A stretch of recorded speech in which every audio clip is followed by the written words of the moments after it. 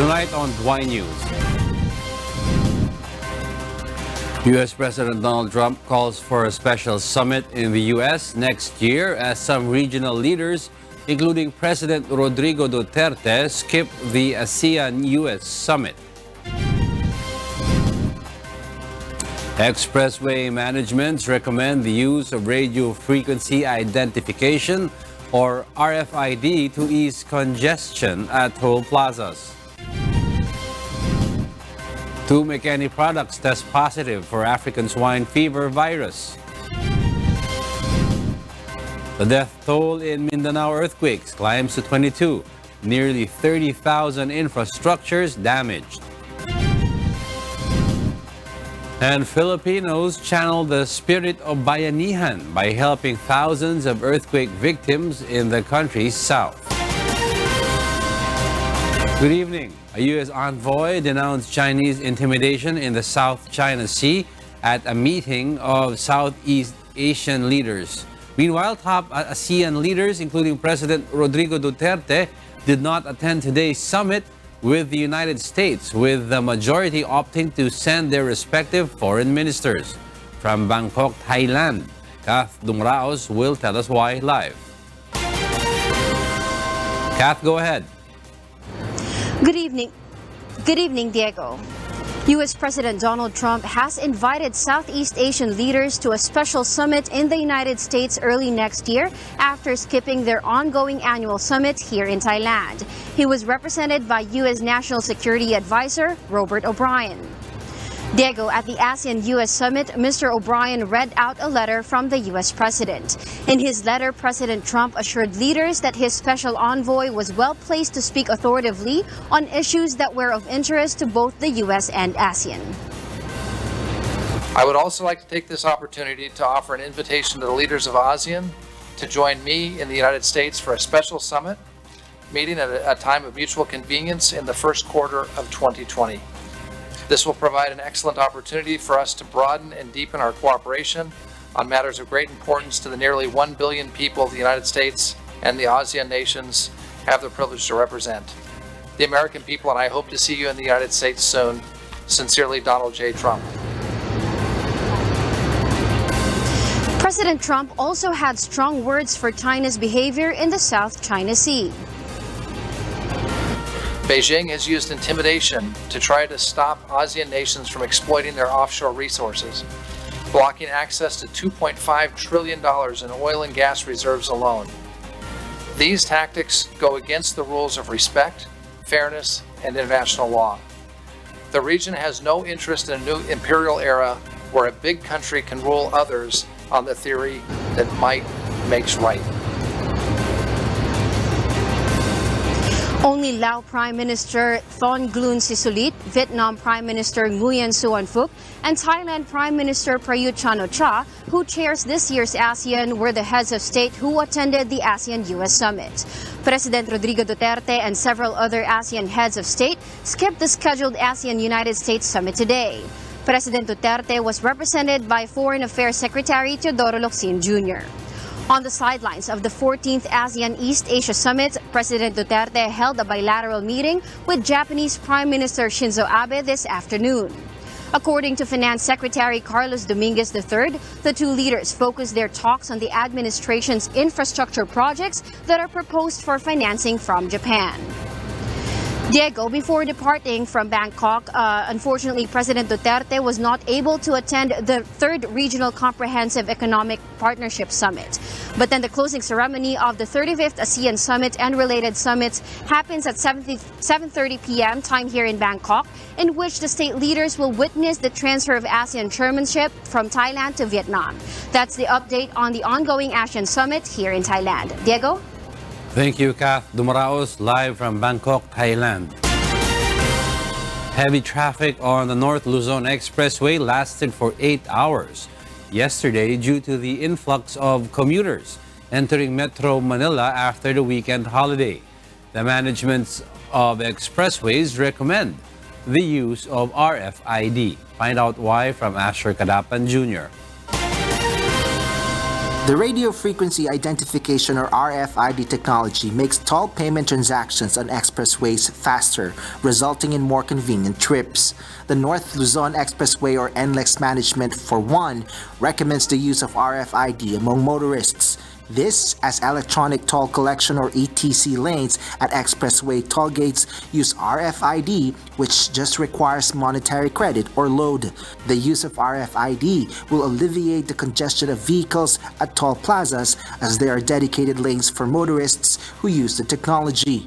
At dahil dumami na rin yung gumagamit ng RFID, at tuloy-tuloy pa maraming uh, nag-a-avail, uh, yun, may, may dinagdag tayong uh, dedicated uh, RFID lanes dito sa uh, Balintawak.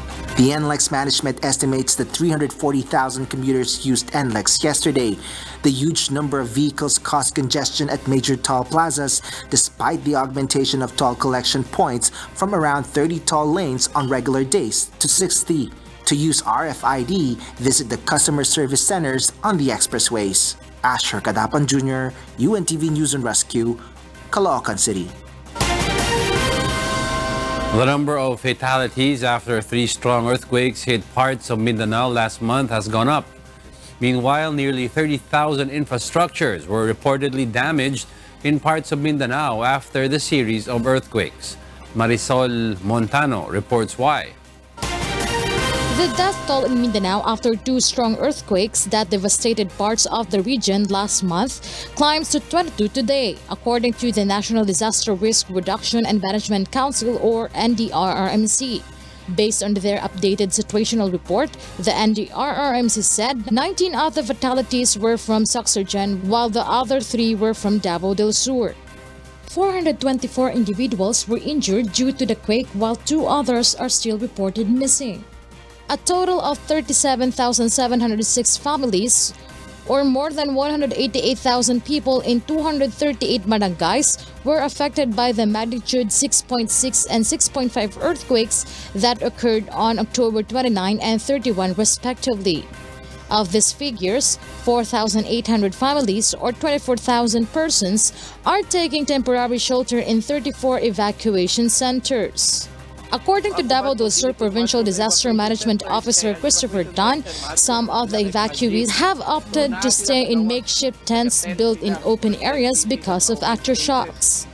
Relief packs have been coming in from local government units and non-governmental organizations. However, Tan added the quake victims are in need of more food and water supplies and tents. The NDRRMC also reports over 29,000 infrastructures in Zamboanga Peninsula, northern Mindanao, Davao Region, Soccsksargen, and the Bangsamoro Autonomous Region in Muslim Mindanao were damaged by the temblor. These include houses, schools, health facilities, commercial establishments, roads, bridges, and other public structures. The magnitude 6.5 quake that struck on October 31 was the third temblor to hit Mindanao last month. A magnitude 6.1 quake recorded last October 16, while a magnitude 6.6 quake was reported last October 29, killing several people and damaging homes and buildings. The epicenters of these tremors were traced in Tulunan Town in North Cotabato. Marisol Montano, UNTV News and Rescue, Davao City. Help continues to arrive for Mindanaoans affected by a 6.6 earthquake that hit parts of southern Philippines a week ago. A C-130 Air Force plane also flies to Mindanao to send aid. Maya Bermudez details why in this report. More than 11 million pesos worth of food and non-food items have been sent to Davao and Soccsksargen regions, according to the Department of Social Welfare and Development or DSWD. Relatives of those who perished after the second strong tectonic earthquake to hit Mindanao last month have been provided with burial and financial assistance. The injured have also received financial help.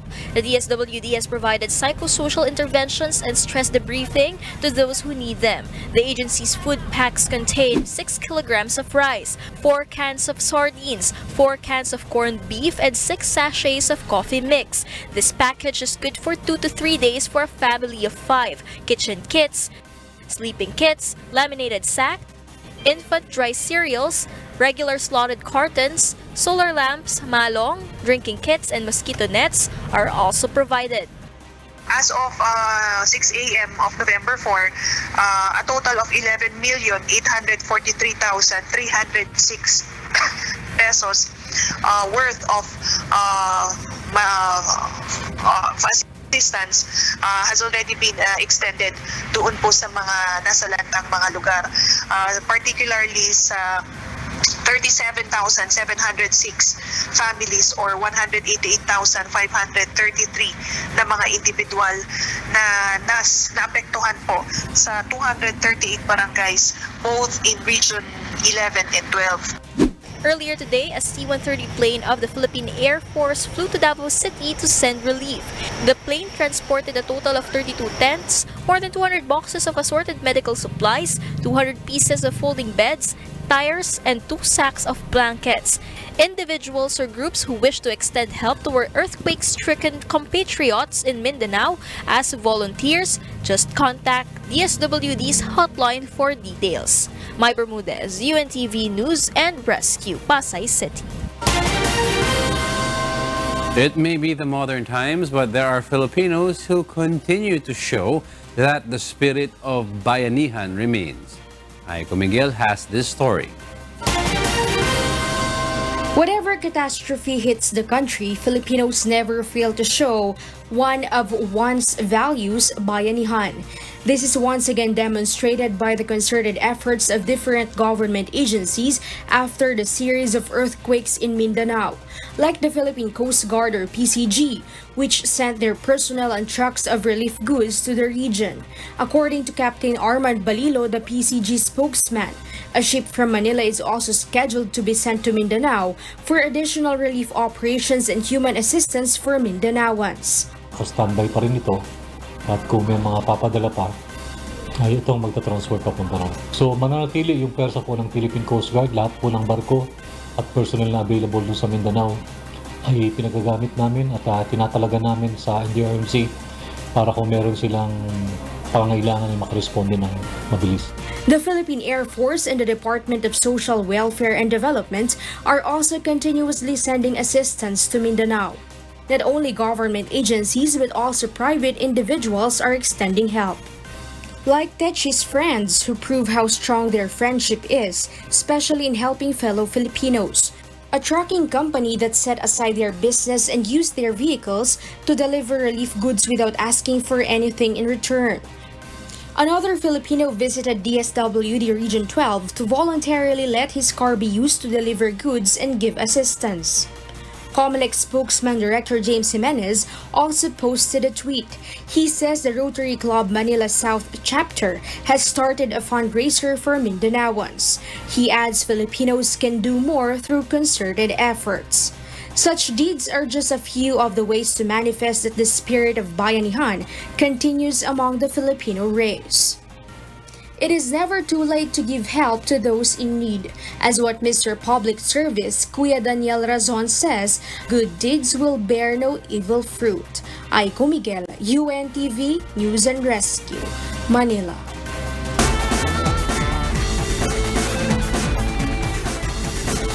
Both the AFP Cavaliers and the DENR Warriors remain with zero losses in the first round elimination of UNTV Cup Season 8. Meanwhile, a multiple tie for the third place spot on Group A is possible after the game between the PITC Global Traders and the Ombudsman Graph Busters on November 17. Bernard Dadis tells us why.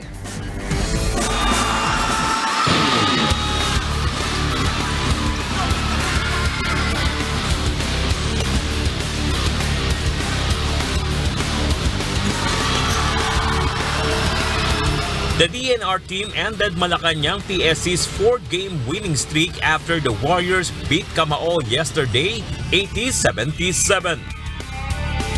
El Rivera and Arturo Atablanco, who made a combined 27 points, led the Warriors to their fourth victory. Well, nagpapasalamat ako sa mga players kasi they responded well. Ano? Uh, ang challenge ko sa kanila, ibigay natin yung laban na ito para sa aming kasama na namatay yung line of duty. Yun ay si Rolando uh, Corpus. Uh, nabaril siya dahil sa paggampan ng kanyang tungkulin. Lapses namin sa defense, lalo na sa offense. Nag-struggle kami nung first half. Binigay namin yung laro na DNR. DNR has not yet lost while Kamao now holds a 4-1 win-loss record.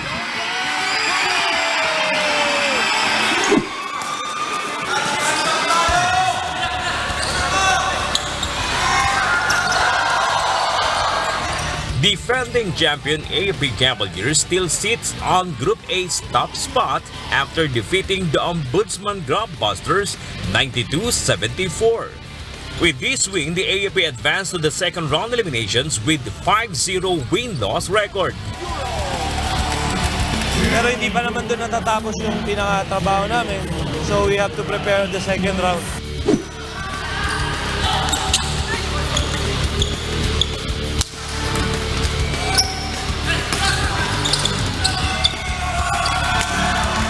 PhilHealth Plus, on the other hand, still have high hopes to continue their campaign in the league this season. These after the Delio Aceron-led Hoopsters made it to a 24 win against SSS Kabalikat. Uh, itong panalong ito, dinededicate namin sa aming ang PhilHealth Provident Fund. PhilHealth is in the fourth place on Group A with two wins and three losses, followed by the Ombudsman Graftbusters with a 1-3 win-loss record. A multiple tie in the third place is possible after the PITC Ombudsman match on November 17. Should the Global Traders win, the Grubbusters will get eliminated. But the Ombudsman must win by over 15 points to advance to the next round while PhilHealth will suffer elimination. Bernard Daddies, UNTV News and Rescue, Pasig City. Welcome back to Why News. We pick up to where Angelo Castro III left off. I'm Alex Baltazar, and here are the headlines. Two Mekeni products test positive for African swine fever virus. Alleged Pampanga ninja cop found guilty for misconduct in another anomalous drug raid after a new round of review. The House of Representatives moves to postpone the May 2020 Barangayan Sangguniang Kabataan polls to December 5, 2022. Oil firms to slash prices anew this week. And Manila Mayor Isko Moreno Domagoso speaks at a conference on climate and air quality in South Korea. Evening. The Department of Agriculture prepares a national zoning plan to eradicate African swine fever in the country. The DA and the Food and Drug Administration want Mekeni Food Corporation to explain why some of its products are contaminated with the ASF virus. Ray Palayo tells us why. The seized items bought from local markets in Luzon tested positive for ASF viral DNA. The Department of Agriculture or DA is investigating the source of materials used in producing the skinless longanisa and picnic hot dog of Mekeni Food Corporation intercepted together with unbranded products at Calapan Port, Mindoro on October 6. Based on the confirmatory test results, the products were positive for African swine fever virus. Kahit po lutuin siya, kahit po ano, uh, ma-process siya, kapag po tinest, kung may ASF po talaga to begin with yung karne, mag makikita pa rin po yung fragments. Okay. The DA and the Food and Drug Administration or FDA are asking the meat processing company to explain why their products are contaminated with the ASF virus. If we see some wrongdoing, then they have a they would have an administrative case with the FDA, including possible revocation, of course, of their license to operate. In a statement, McKinney assures cooperation with the government in the investigation to trace the source of the virus. The FDA has inspected 63 of the 178 processed meat manufacturing plants in the country. All have been found negative for the hog disease virus and complying with the standards. Even the products from China confiscated at the Manila port last week tested positive for ASF. Visayas, Mindanao, and Mimaropa have yet to be declared as ASF-free or clean zone. This means pork products can be exported from these areas to other parts of the country. Luzon is a containment zone Region 1, 2, and 5 will be declared as protected zone. Region 3 and 4A are under the surveillance zone and Bulacan and Pampanga are infected zones. If you are the infected zone, we may call it andun yung, yung cases, andun yung virus, you will have limited access sa market. So basically, infected zones can trade only with their fellow infected zone and of course uh, NCR. The Bureau of Animal Industry said the dry season will be favorable in controlling the spread of the virus. Pagka mag-isa lang yan, in a matter of days patay po yan, lalo na kung mainit yung environment. The DA appeals to hog raisers not to feed the animals with swill and not to trade hogs with ASF. Ray Pilayo, UNTV, Use and Rescue, Quezon City. The Philippine National Police formally dismissed the team leader of the anomalous Antipolo drug raid last May. But according to the PNP-OIC, the said cop may apply for a motion for reconsideration. Harleen Delgado reports why. The team leader of the anomalous Antipolo drug raid in May, who is also one of the 13 policemen dubbed as Ninja Cops, has been dismissed from service. According to Philippine National Police Officer in Charge Police Lieutenant General Archie Gamboa, Police Lieutenant Joven de Guzman has been proven guilty of grave misconduct. The six others have earlier been dismissed. Authorities say three of them are also among the Ninja Cops allegedly involved in the agaw-bato scheme or the irregular drug raid in Pampanga six years ago. It can be recalled that Gamboa remanded back de Guzman's case to the PNP Internal Affairs Service and only meted a 59-day suspension after only less grave neglect of duty was filed against the cop. Gamboa clarified de Guzman can still appeal and file a motion for reconsideration in his office. Without his participation, the case went ahead. No? And it's not even required by law that he will answer. So pag hindi siya sumagot, ibig sabihin, wala siyang bagong ebidensyang gustong ipresenta. The Department of the Interior and Local Governments is expected to release the result of its investigation on the 13 cops and resigned PNP Chief Police General Oscar Albayalde. Harleen Delgado, UNTV News and Rescue, Camp Crame. The Duterte administration is confident the Philippines will hit the 2019 economic growth target. Rosalie Coz details why. The Duterte administration is targeting a 6 to 7% economic growth this year. We are certainly in a very good position to uh, hit the uh, lower end of the target of uh, 6 to 7% uh, this year. Based on the Philippine Statistics Authority or PSA's report, the first quarter growth rate was 5.6% and 5.5% in the second quarter. The government has mentioned such decline is due to the delay in the passage of the 2019 national budget as well as the conduct of the midterm elections which caused the government's underspending. Though the PSA has not yet released the report on the third quarter gross domestic product or GDP growth, Finance Secretary Carlos Dominguez is confident the result will be better than in the first two quarters of 2019. Uh, no, no, definitely, definitely that's going to happen because our spending did ramp up in the uh, uh, in the last uh, the third quarter. We haven't quite caught up yet. I think we're about still five percent short but uh, we're getting there. The Duterte administration still believes the country's yearly economic growth will be within the government's target band. To hit the lower end target, GDP growth has to hit 6.5% for the last two quarters. Rosalie Coz, UNTV, News and Rescue.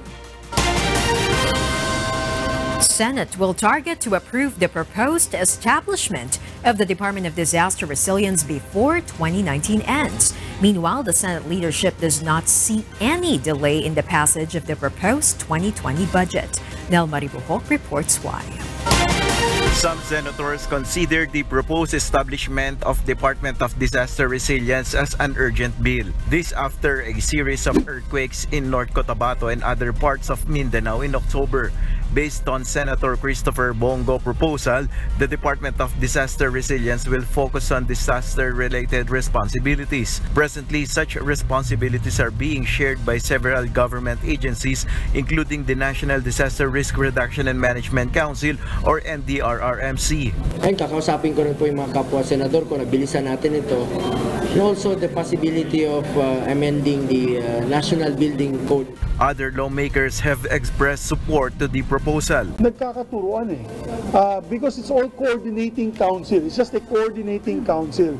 Hindi po siya talagang isang departamento na, nakaka, na nakatutok uh, on, uh, for example, on um, uh, post-calamity and even pre-calamity. Sa disaster, ang, may, ang importante dyan, may mananagot.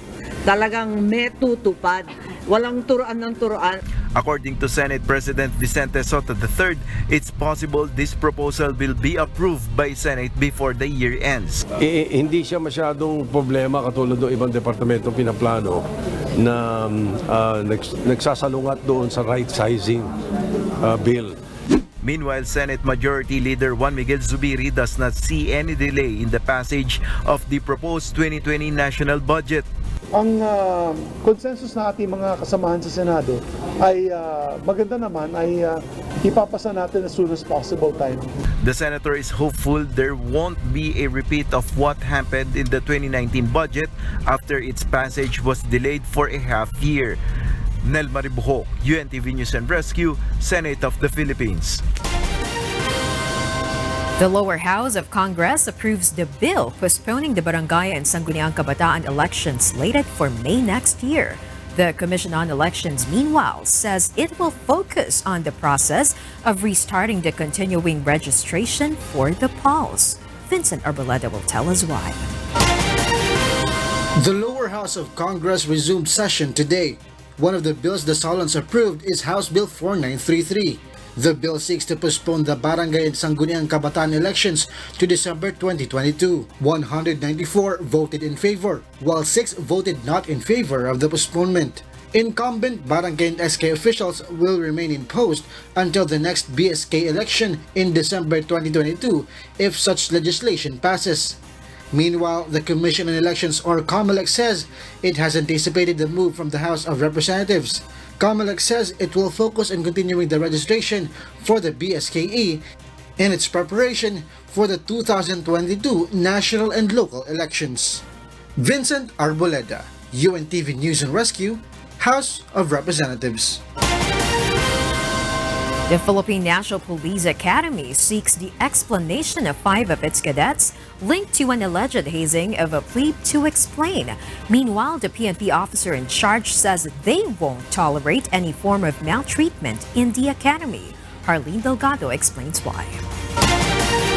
A freshman cadet has filed a complaint against his five fellow cadets over an alleged hazing incident.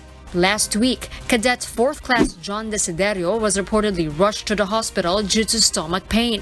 Desiderio remains confined at the East Avenue Medical Center. In a statement, the Philippine National Police Academy or PNPA says the five identified cadets will be given 24 hours to explain before an administrative charge is filed against them. But PNP officer in charge, Police Lieutenant General Archie Gamboa assures the cadets involved will be dismissed from the academy. He says the involved officers, including the squad and platoon leaders, have been stripped of authority. We will get to the bottom of this. And because may nangyaring ganon, and indeed it is maltreatment, we will see to it that these cadets who are involved will be dismissed from PNPA. On April 12, 2019, President Rodrigo Duterte signed Republic Act 11279, or an act transferring the Philippine National Police Academy and the National Police Training Institute from the Philippine Public Safety College to the Philippine National Police.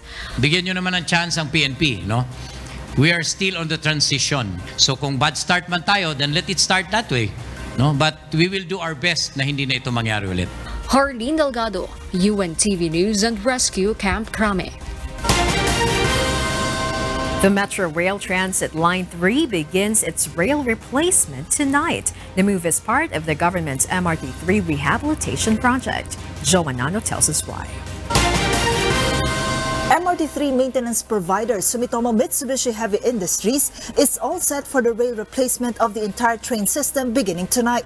The rail replacement will be done daily from 11 p.m. to 4.30 a.m. so that the normal train operations won't be affected.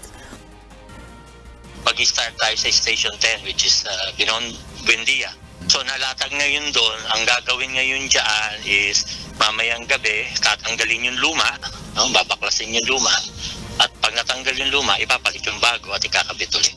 Once completed, the speed of the trains will be adjusted to 60 kilometers per hour from the current 30 kph.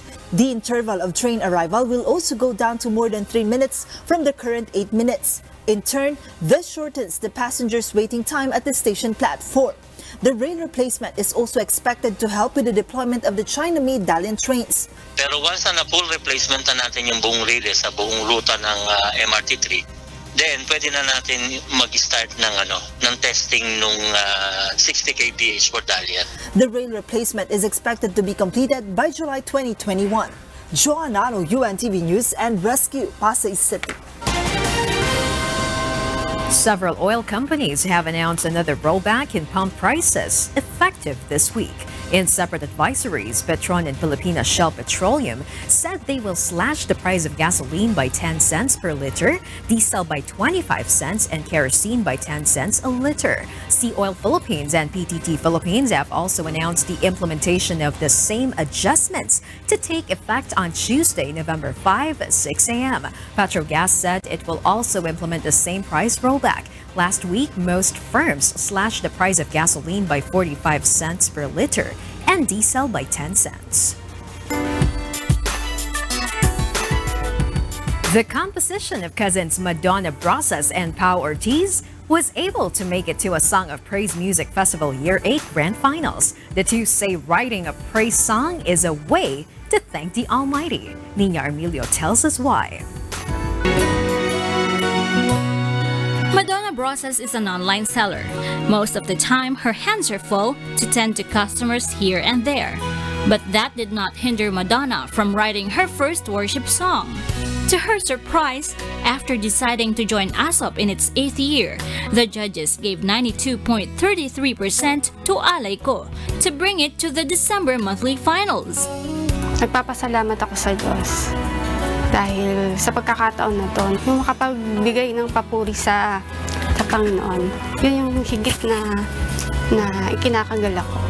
To make the song even more beautiful, Madonna partnered with her cousin Pau Ortiz, a singer-instrumentalist, who added melodies for the song on 6-8 time signature. May mga suggestions na very informative at nakakaroon ako mas maraming knowledge when it comes to arrangement.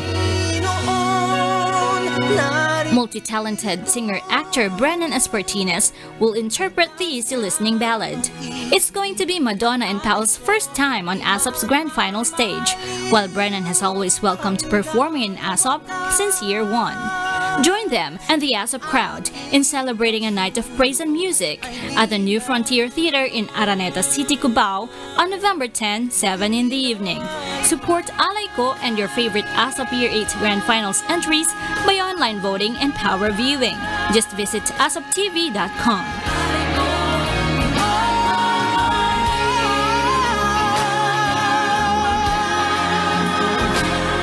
UNTV News and Rescue.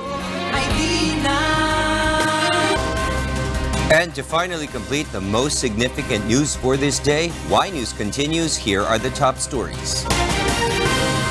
The Philippine Navy has a new asset which is equipped with radar that can detect other ships and even submarines that enter the Philippine territory. Let's find out the ship's other capabilities as Dante Amento reports. BRP Conrado Yap arrived in Zamboanga City this morning. This is the newest and only anti-submarine asset of the Philippine Navy donated by South Korea. The ship has been to different parts of Mindanao as part of its show, The Flag Mission. From western Mindanao, it will proceed to Palawan, particularly in the West Philippine Sea. Captain Marco Buena, the ship's commanding officer, says BRP Conrado Yap also fits to be deployed in the western Mindanao area. Like in the southern Philippine Sea where some incidents of sea jacking, piracy, smuggling and even incursion have occurred. kahit saan naman tayo ay pwede kung anumang misyon ang ibigay ng headquarters. Be it sa West Philippine Sea, sa Western Mindanao Command, o kaya sa northern area, areas ng Philippines. BRP Conrado Yap's capabilities include anti-submarine warfare and maritime security operations. It is equipped with radars that detect other ships and even submarines that enter the country's territory. Authorities admit the southern Philippine Sea is so vast that it needs such asset for monitoring. Yung mga transit corridors na hindi masyadong nabibisita, yun ang magandang deployment ng BRP Conrado Yap. Captain Buena adds, two additional ships are expected to arrive in the country next year. Dante Amento, UNTV, News and Rescue, Zamboanga City. Meanwhile, Manila Mayor Isko Moreno Domagoso is now in South Korea. He delivered a speech on his plans for the city to address pollution, which for him has been left unaddressed for years. Bernard Dadis tells us why. Former United Nations Secretary Ban Ki-moon has invited Manila City Mayor Isko Moreno Domagoso to the 2019 International Conference on Air Pollution and Climate Change in Seoul, South Korea. Ban Ki-moon sits as the chairman of the National Council on Climate and Air Quality. In his speech, Mayor Domagoso enumerated his administration's actions to fight pollution which has been neglected for years, he said. I dream of vertical housing with hydroponics for our informal settlers to respond to the issue of housing, livelihood and food, of solar rooftops to effectively manage our carbon footprints. Phase out of jeeps. You know, jeeps. I hope you're familiar with the word jeeps. And if you have time, you Google it. And buses with second-hand engines must start not through a system of penalty, but initiatives. Manila City's move will include creating 1,600 hectares of green space in the city, recommended by the Department of Environment and Natural Resources, the renovation of public parks like the Mehan Garden and others, as well as the installation of vertical gardens in the busiest streets of the city. The installation of vertical gardens at Jones Bridge is ongoing. Next will be on Taft, Lawton, and Espana Avenues. The measures also includes expanding the so-called last lang of the city, the Arroceros Park. Manila will create more open green space. That we guarantee you. It will use technology to ensure that air monitoring becomes a daily undertaking and strategic areas are identified to comply with air quality standards. Mayor Isko added that renewable energy will be integrated on his plans for the city, like installations of solar-powered street lamps and solar panels to more than 100 schools in Manila. Bernard Dadis, UNTV News and Rescue, Manila. Malacanang refuted news that President Rodrigo Duterte did not receive a football jersey during the signing ceremony of Association of Southeast Asian Nations or ASEAN and Federation Internationale de Football Association or FIFA. Charlize Longbowen will tell us why. Malacanang slammed Twitter user The Professional Heckler for making fun of President Duterte belatedly receiving his football jersey during the signing of a Memorandum of Understanding between the Association of Southeast Asian Nations or ASEAN and the Federation Internationale de Football Association or FIFA. On Sunday, the professional heckler, a known critic of the administration on Twitter, tweeted a 66-second shortened video of the ceremony where the ASEAN leaders received their own jerseys with their names on them from the FIFA, but Duterte received his last. However, Heckler poked fun at the event when Duterte did not receive his jersey immediately and was instead skipped. Heckler likened this to a toddler not getting a candy. In a statement Sunday afternoon, Panelo offered to Heckler's tweet as an attack from the political opposition. He said the false news can easily be debunked by looking at the official photos released by the palace.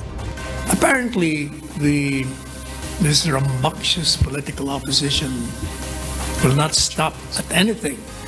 Every opportunity presented to it, it will use to put the president in a bad light.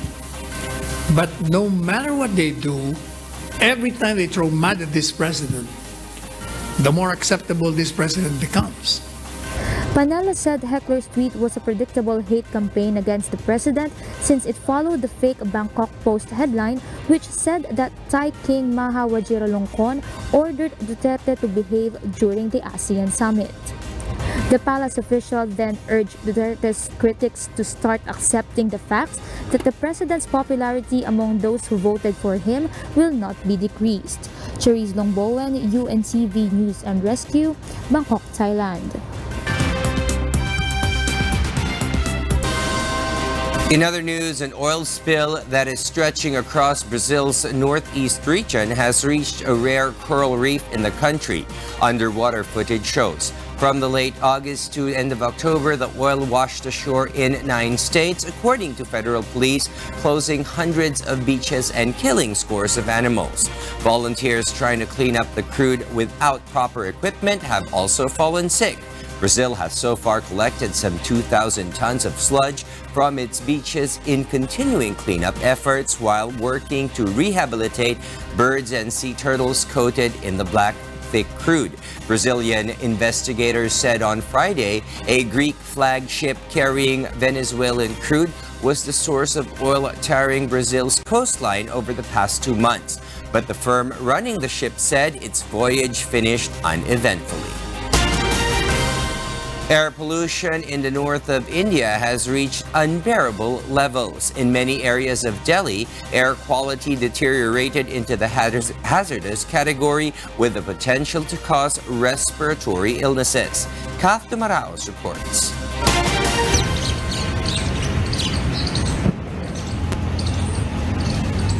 Air pollution in New Delhi and surrounding towns reached the worst level so far this year on Sunday, with authorities in the world's most polluted capital city having already declared a public health emergency and ordered the closure of schools.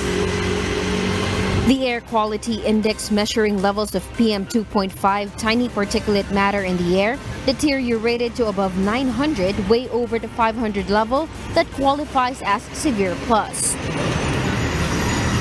According to Gopal Krishna, a Delhi resident, for him it's suffocating and they feel like coughing. They thought that the light showers will make the weather better and the pollution level will improve, but it doesn't feel like it yet. Aside from the harm it was doing to the lungs of some 40 million people living in the capital region, the smog was so bad more than 30 flights were diverted from Delhi airport due to poor visibility. Roads looked deserted as large numbers of people stayed home rather than expose themselves to the noxious atmosphere outside. Authorities in Delhi declared a public health emergency and closed schools and all construction activity today. The city government restricted the use of private vehicles on the capital's roads under an odd-even scheme based on license plates. Kat Dumaraos, UNTV News and Rescue. An oven has been launched to the International Space Station, or ISS, for astronauts to bake chocolate chip cookies in. A cargo craft containing the specially designed space oven and baking ingredients took off from the U.S. state of Virginia on Saturday. Astronauts are set to test what high impact heat and zero gravity have on the shape and consistency of the cookies. The experiment is being dubbed as the first instance of baking in space. A musical director who joined ASOP for the first time and a singer who sang a praise song in a competition for the first time met last March in a Song of Praise Music Festival. Their collaboration will be witnessed at the ASOP Year 8 Grand Finals Night. Nina Armilio tells us why.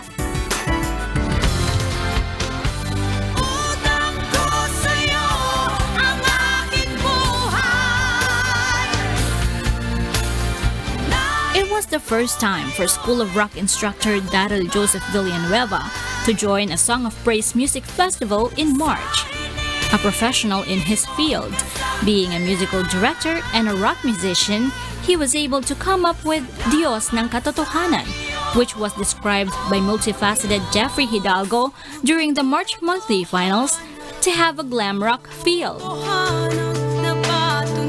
Daryl admits being agnostic before, but when he finally proved to himself that he has found God, he decided to write a praise song to thank the Creator for experiencing something more than finding gold.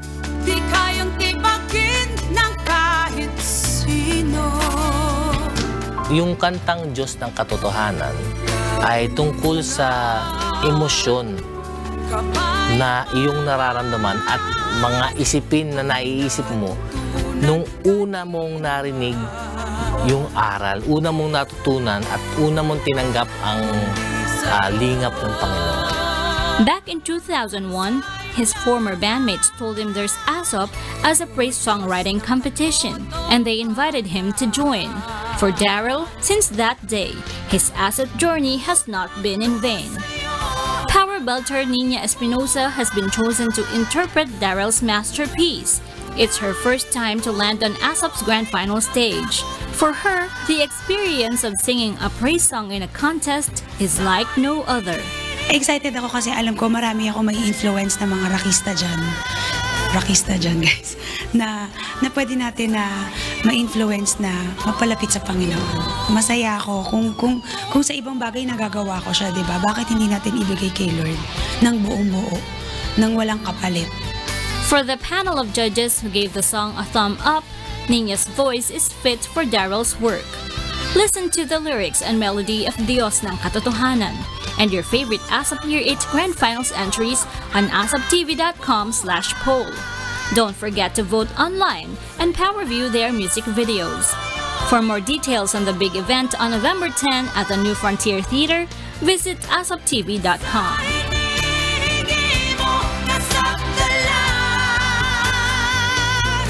Nina Armilio, UNTV News and Rescue.